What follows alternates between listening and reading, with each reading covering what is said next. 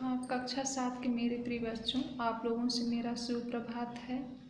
और अब देखिए, हिंदी में जो है हम चौथा लेसन पढ़ाने जा रहे हैं और इसके पहले जो पढ़ा चुके हैं, उसको, उसके क्वेश्चन आंसर को आप लोग याद करते रहिएगा। तो देखिए, चौथा लेसन है, लौह पुरुष। लौह पुरुष किसे कहा गया है? सरदार पटेल को, यानी सरदार वल्लभ भाई पटेल को कहा गया है।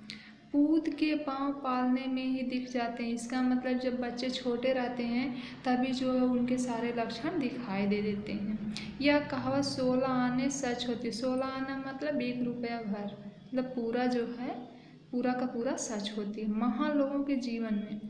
महान लोगों के जीवन में यह कहावत सोलह आने सच होती है। सरदार वल्लभ भाई पटेल ऐसे ही एक महान देशभक्त थे जो बचपन से अत्यधिक सहनशील और सरल स्वभाव वाले थे। इनकी महानता के लक्षण बचपन से ही दिखाई देने लगे।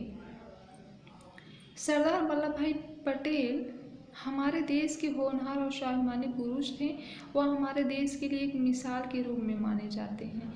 उन्होंने कहा, उन्होंने कहावत है, होनहार बीरवान के चिकने पात। होनहार बीरवान के होत चिकने पात। से सभी को प्रेरित किया है। यदि यह कहावत कहीं सच्चे अर्थों में चरितार्थ हुई है तो सरदार पटेल पर हुई है। भारत के लव पुरुष के लक्षण उनमें बचपन से ही दिखाई देते थे। रौबदार और अन्याय के विरुद्ध जीवन पर्यंत संघर्ष करने वाले इस अमर सेनानी का जन्म इकतीस अक्टूबर 1875 ईस्वी में गुजरात के करमसद गाँव में श्री झबेर भाई के घर हुआ था। झबेर भाई साधारण किसान होते हुए भी भी बड़े देशभक्त तथा साहसी वीर थे। सरदार वल्लभ भाई पटेल की शिक्षा दीक्षा प्रारंभ में करमसद गाँव में ही हुई। हाई स्कूल की परीक्षा इन्होंने नदियाड और बड़ौदा से उत्तीर्ण की। केवल 18 वर्ष की अल्प आयु में ही इनका विवाह हो गया। उन्नीस सौ आठ ईस्वी में गुजरात में भयंकर प्लेग के चंगुल में पत्नी की मृत्यु हो जाने पर भी ये धैर्यपूर्वक अपने कर्तव्य में लगे रहे। वल्लभ भाई पटेल की इच्छा थी कि वे विदेश में बैरिस्ट्री पढ़े, लेकिन उनके मार्ग में धन अभाव एक बाधा थी। धन अभाव मतलब उनके पास पैसे की कमी थी।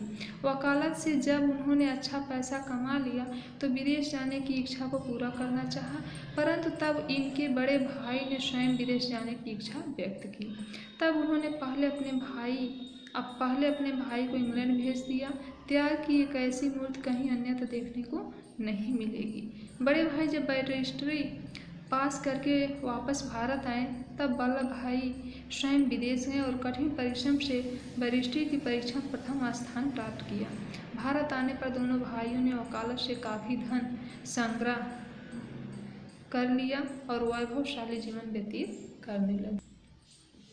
गुजरात सभा के अधिवेशन में ही दोनों भाइयों ने गांधी जी से भेंट की, तब बापू जी का प्रभाव पर्याप्त रूप से इन दोनों भाइयों पर पड़ा। बापू जी से प्रभावित होकर श्री विठल भाई ने तो अकालत त्याग कर देश सेवा का व्रत ले लिया। सन उन्नीस में असेंबली के चुनाव में निर्वाचित हुए तब वे प्रथम भारतीय अध्यक्ष माने गए। वल्लभ भाई पटेल गांधी जी से प्रभावित होकर उनके शिष्य बन गए। अंत में उन्होंने भी वकालत त्यागपत्र दी और स्वतंत्रता प्राप्ति के लिए उन्होंने अपने आप को पूर्ण रूप से देश को समर्पित कर दिया।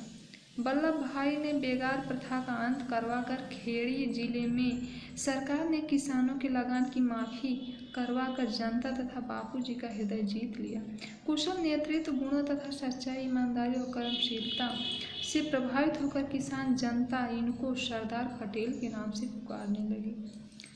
गांधी जी के असहयोग आंदोलन में उन्होंने बराबरी का हिस्सा लिया। सन 1918 में वल्लभ भाई पटेल ने गुजरात में असहयोग आंदोलन की बागडोर संभाली, अपने बच्चों को सरकारी विद्यालय से हटा लिया। अब उनके सामने अपने बच्चों के साथ साथ अन्य बच्चों की भी शिक्षा का प्रश्न था। इसके निवारण हेतु गुजरात विद्यापीठ की स्थापना हुई। दस लाख की धनराशि एकत्र करने के करके कर के पश्चात उन्होंने एक, इस विद्यापीठ को विशाल तथा भव्य रूप प्रदान किया। सन उन्नीस सौ बाईस में गुजरात में भयानक बाढ़ से लाखों लोग बेघर हो गए थे। इन, उनके कष्टों के निवारण के लिए इन्होंने एक स्वयं सेवक दल की स्थापना की। एक साधारण स्वयं सेवक की भांति इन्होंने दिन रात कठिन परिश्रम के दौरान बाढ़ से पीड़ित व्यक्तियों की सेवा की।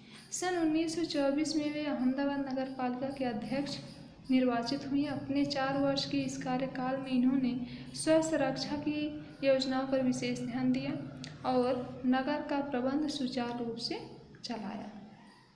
सरदार पटेल में दूसरों के लिए अत्यंत सहानुभूति थी। सन 1928 में बारदोली में भूमि के नए प्रबंध के कारण 30 प्रतिशत की लगान वृद्धि ने किसानों की कमर तोड़कर रख दी। उनकी दुख गाथा सुनकर सरदार पटेल ने सरकार के विरुद्ध मोर्चे का संचालन किया। गुजरात के लिए बाहरी सहायता को यह कहकर आज स्वीकार कर दिया कि बारदोली में जब तक एक सरदार है, तब तक उसे अन्य व्यक्तियों की आवश्यकता नहीं है। सरदार ने कहा था, उनके आत्मविश्वास तथा असाधारण कार्य क्षमता का यह ज्वलंत प्रमाण है। लोकमान्य तिलक के जन्मदिन पर मुंबई में निकाले गए जुलूस का नेतृत्व सरदार पटेल ने किया। इस अपराध में सरकार द्वारा उन्हें कारावास की प्रथम यात्रा का सौभाग्य सन उन्नीस में प्राप्त हुआ। गांधी इरविन समझौते के समय अन्य असंख्य कांग्रेसी नेताओं के साथ इन्हें भी मुक्ति मिली। शेर फिर पिजरे के के बाहर आकर अपने कार्य में लग गईं। उनकी योग्यता, शक्ति, देशभक्ति की तीव्र लगन तथा दृढ़ता के सम्मानार्थ कराची कांग्रेस अधिवेशन में इन्हें अध्यक्ष पद पर आसीन किया गया। कांग्रेस इनकी छत्र छाया में विकसित तथा सुसंगठित होती चली गई। इंग्लैंड के गोलमेज कॉन्फ्रेंस की समझौता वार्ता में असफल होकर गांधी जी के। भारत लौटने पर सरकार ने फिर एक बार भारत के आत्मसम्मान को कुचल डालने का असफल प्रयास किया। सभी प्रमुख नेताओं को जेल के शिकं शिकंजों में बंद कर दिया गया। सरदार पटेल पीछे कैसे रह सकते थे? दो वर्ष जेल में रहने के उपरांत अस्वस्थता के कारण सन उन्नीस सौ चौंतीस में इन्हें जेल से छोड़ दिया गया। सन उन्नीस सौ सैंतीस में कांग्रेस को काउंसिल में प्रवेश कर अवसर मिला तो 11 में से आठ प्रांतों में कांग्रेस के विजय होने में सरदार पटेल का सबसे बड़ा हाथ था। ग्यारह में से आठ प्रांतों में कांग्रेस की विजय हुई तो उस विजय में सबसे बड़ा योगदान किसका था? सरदार वल्लभ भाई पटेल का।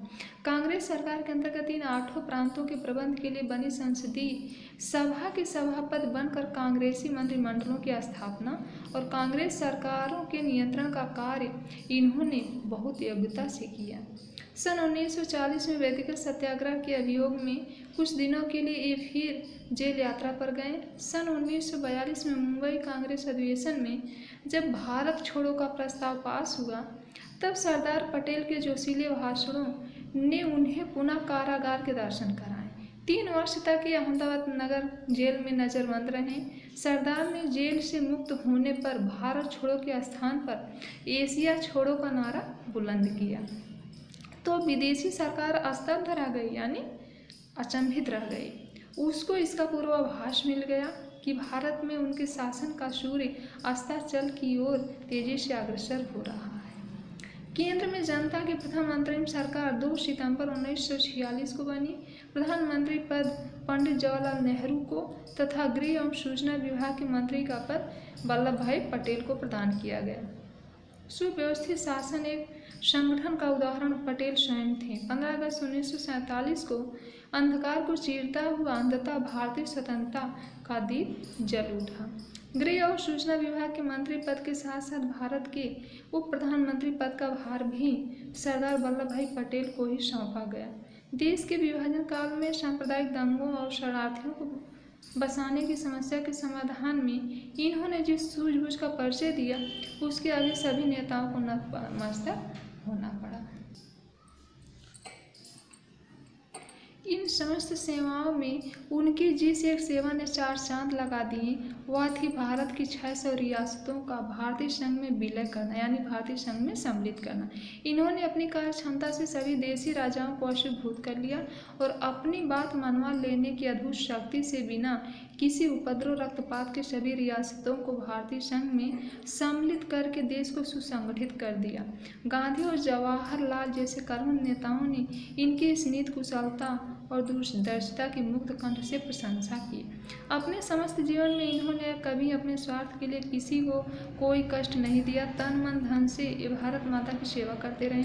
अनवरत परिश्रम के परिणाम स्वरूप वे अस्वस्थ हो गए। रोग शया पर पड़े रहने पर भी देश के कर्णधारों का मार्गदर्शन करते रहे। पाँच सितंबर 1950 को भारत माता का यह सपूत चिर निद्रा में चिर निद्रा में लीन हो गया। मौलाना शौकत अली के शब्दों में ये पंक्तियाँ कही गई हैं। बर्फ़ से ढका या ज्वालामुखी, अपनी समस्त ज्वालाएँ समेट कर अनंत ज्योत में विलीन हो गया। उनके निधन से व्यथित जनता को फिर ऐसा सरदार अभी तक नहीं मिल सका। तो बच्चों, देखिए, आप लोग जो है, शब्दार्थ को लिख लीजिएगा और इसको याद कर लीजिएगा। धन्यवाद। हाँ बच्चों देखिए, ये जो मतलब मौखिक लिखित प्रश्न है, इसको हम लिख करके नोट्स भेज देंगे। और इसके अलावा जो और भी क्वेश्चन है इसमें